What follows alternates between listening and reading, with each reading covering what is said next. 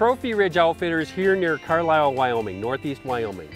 You cannot ask for a better place to have a close encounter with a mature buck. I'm hunting with fellow outdoor writer Bob Robb.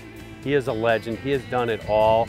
He's a good friend of mine, and we're both trying to get after some mature whitetails.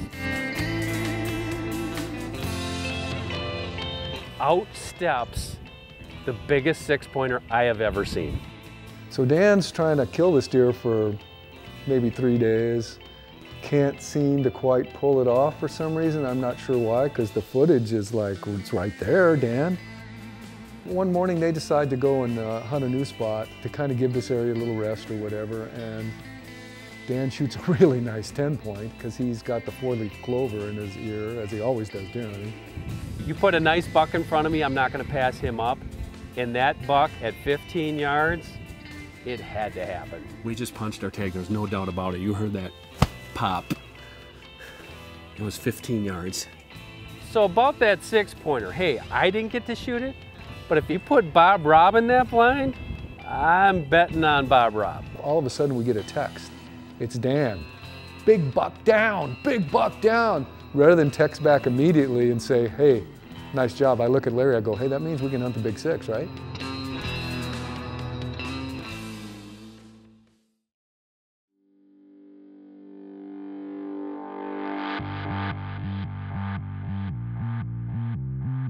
Dan Schmidt and Bob Robb are back in Carlile, Wyoming for their annual archery hunt. During the first few days, Dan almost had a close encounter with a mature six point that had everyone in camp talking. So here we are at Trophy Ridge Outfitters. It's the middle of September. The acorns are starting to fall. The deer are feeding in some ag fields, but they're also going to acorns on a regular basis. We're hunting some blinds, and I'm here with Dan Schmidt, the editor of Deer and Deer Hunting, and Dan somehow got put in a good spot.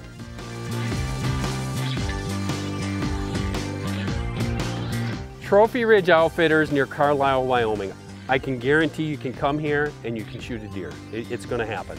It's just, it's so many deer, so many opportunities. That's where we are right now. The first couple days, well actually the first day we got in there, we're hunting and it was a pretty nice setup. We saw a bunch of deer, a lot of young deer, some nice young bucks, does, a lot of things coming through that canyon, coming out to the fields. And lo and behold, you know, on my bucket list has always been a big six pointer. I don't know why, but a mature six pointer to me is, it's fascinating because you just don't see them. Outsteps the biggest six pointer I have ever seen.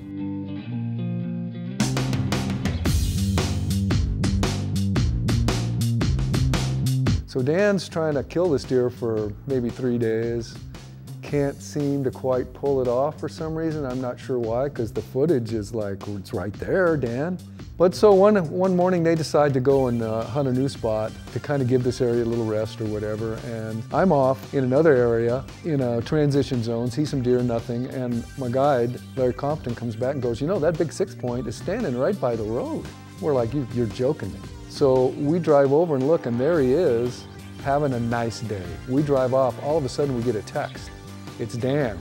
You know, I really wanted that six pointer. It would have been cool, but I didn't put my whole hopes and dreams on that. Hey, I'm Dan Schmidt, right?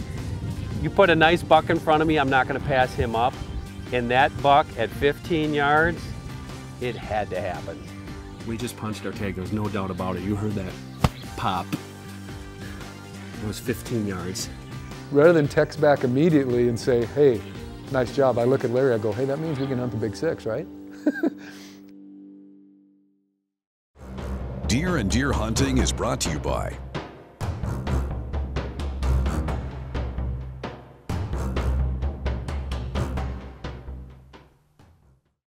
With Dan's recent success on a nice 10 point, Bob Robb finds himself in a good position to pursue the mighty 6 point that's made many appearances throughout the trip. With help from his skilled guide, Larry Compton, Bob is more than comfortable using the remaining days of his hunt going after the six pointer. We're trying to decide, well, what do we do now? It's the middle of the morning, it's a beautiful sunny day. Do we want to try to maybe still hunt and get in there and get a shot? Do we want to maybe set an ambush up for that evening? How do we want to play it? So we had a little discussion and we decided this. We, we have one more day to hunt after today. We know that this deer, we've seen him under these oak trees now. This is pretty much where he likes to hang out. So let's do this. Let's set a blind up here and leave it. And we'll go hunt another spot this evening, let everything settle down. If a big buck comes in to our new spot, great, we're in business. If it doesn't, let's be here first thing in the morning and we'll try to take the six point.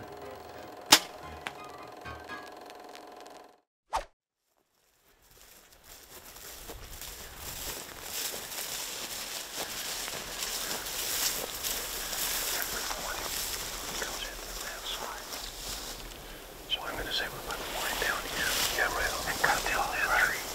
We'll take that tree and cut it down and use that tree. Yeah, I would, I would say either put it down there or up here, one of the two. But the flat spot up here is too obvious. He'll be looking up. That's what I think too. Yeah. Right here, it's only 55 yards. Down there, it'll be 40 yards. When that tree gone, you'll be down. You'll be out of the wind. Right. Coming back in. With that tree gone, you'll have a wide open shooting. And we'll brush it in. Why not? I've done crazier things. Let's do it. All right. On two, we have a plan. Okay, so we're hunting the big six. We've seen him three or four times. He's a huge six point. We just put him to bed about 400 yards from here, but his pattern has been to go to these two little oak trees every morning. So we're going to try to set a blind and ambush him tomorrow morning. If we pull this off, they'll sing songs about it for 100 years. It's awesome.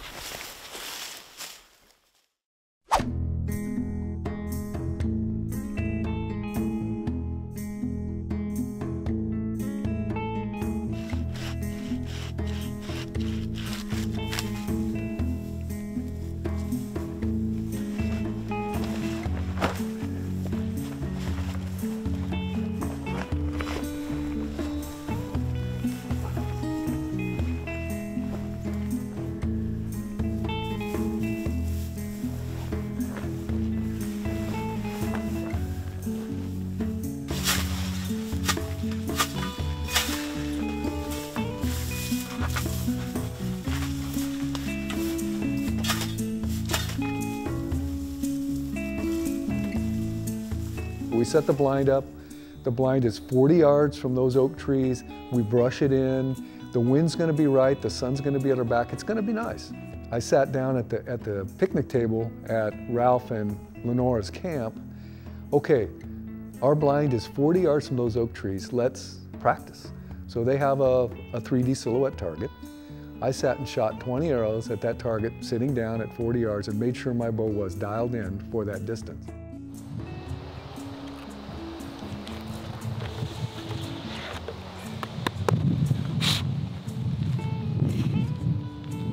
The broadhead out first, it saves a lot of wear and tear on your target. We go out that evening, we see 20 does. We have a doe bed 15 feet from the blind for a half hour. They come to a water tank, but we don't see any bucks.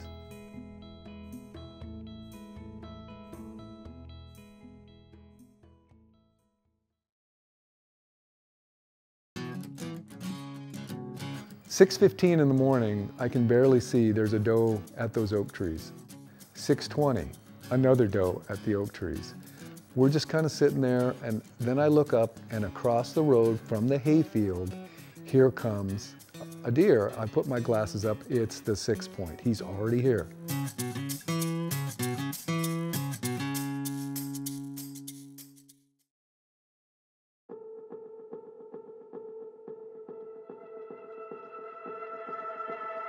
So Ian and I are in the blind an hour before daylight in the morning. We figure we're not going to see this deer if we see him for two, three hours after daylight. 6.15 in the morning, I can barely see there's a doe at those oak trees. 6.20, another doe at the oak trees. We're just kind of sitting there, and then I look up, and across the road from the hayfield, here comes a deer. I put my glasses up, it's the six point. He's already here.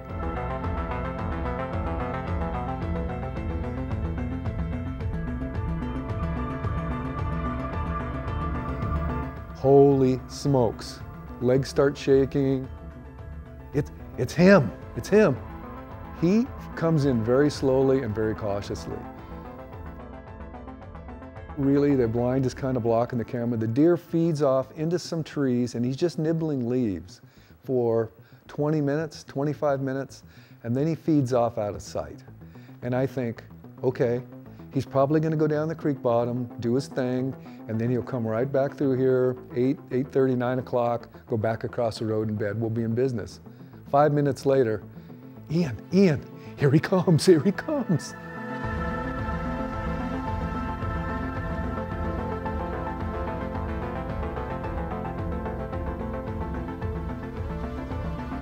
He stops at the edge of those trees, eats a couple leaves, and just sort of senses to see what's going on.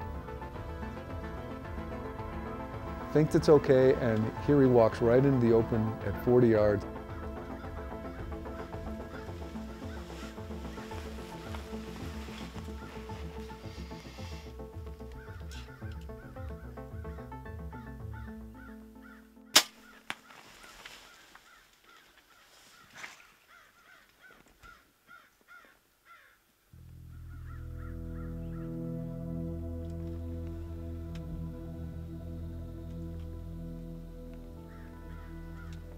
I think it's a good shot, but I'm not sure because the arrow actually went in. We later found out it went through his front shoulder blade, hit another bone, broke at the ferrule, and bounced back out of the thing. But when you saw it in real time, you thought, did my arrow just bounce off him? Did, did I forget to change my practice point out for a real broadhead? All these thoughts are going through your head like, oh my goodness, what did I do? Got a shot. We call Larry, he comes back, we replay the footage on slow motion. We're like, you know, that was a good hit. It's not too low. The arrow, we, we went up and we found the arrow. You could see where we got a lot of penetration. So we're feeling a lot better about it, but there's no blood. So we give it an hour, we park, we try to act like it's, uh, you know, no big deal, but I'm quivering like a leaf. Then we decide to come in and do a reverse track. So we think we're gonna come in about two, 250 yards above the hay bales where we saw him go in the night before, and we'll work our way down that creek bottom and do a grid search. And we did, lo and behold, maybe 50 yards from those hay bales, there he was. Did we find him? We found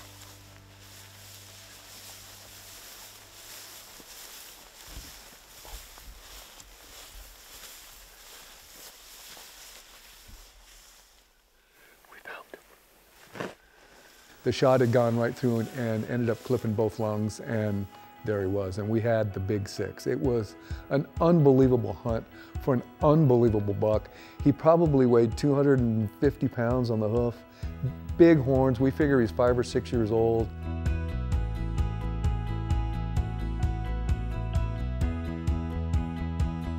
To me, an unusual, mature deer with what I call crazy horns, that's what it's all about for me. Everyone wants that eight point or 10 point. To me, I'm looking for age and something unique. And this deer had all that. Big bodied, Roman nosed. He was obviously the boss of his little neighborhood. Whenever we saw him on this hunt, he was always by himself. Nobody bothered him. He had his own little area. And the hunt that we put together for this deer took several days actually of sort of moving the chest pieces into place and adjusting as we went along. And then when you see those big six point antlers, a, a couple of the, the best whitetails I've ever taken in my life were actually big, big six points. And to me, that, that uniqueness makes him a special, special trophy buck.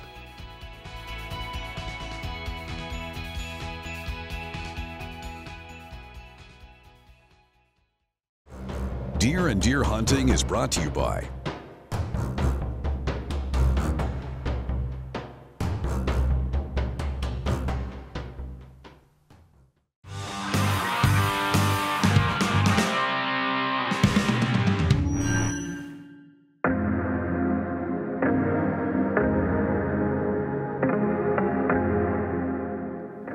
Hey deer and deer hunting, Brad Fenson here with a tip for picking your shot angle on a deer.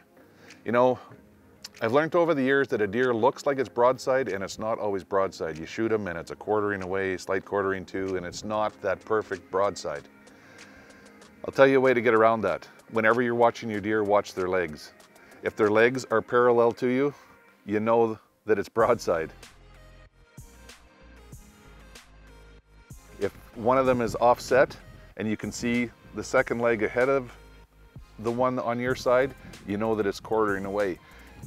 It may sound crazy, but deer often appear broadside and they're not. But by watching their legs, we can ensure when they line up that that deer is parallel to you. So I look at a lot of different things on the deer when they come in, where their butt is, where their head is, but I watch those legs continually. And the front legs especially tell me when that engine room is broadside to me and it's time to send an arrow.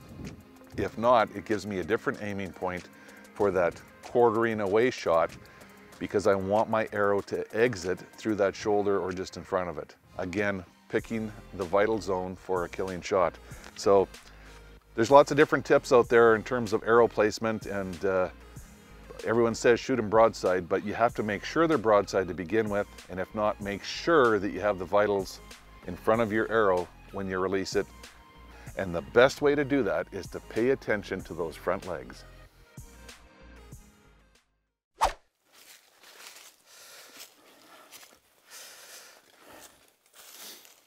hunting apps on your smartphone, they're amazing, right? Well, I'm using the HuntStand Pro and it's already impressed me a lot with their satellite imagery, their different maps, their 72 hour weather forecast, and their hunt zone wind graphics. Man, that's great. Whether you're whitetail hunting, you're predator hunting, waterfowl hunting, need to know how to set up the decoys, you can look, it shows you exactly where that wind's gonna blow, when, where, and how much. The mapping system, well, there's all kinds you can choose from. The satellite, hybrids, property, hunting lands, topographical. It's great for deer, elk, again, waterfowl, squirrel hunting, you name it.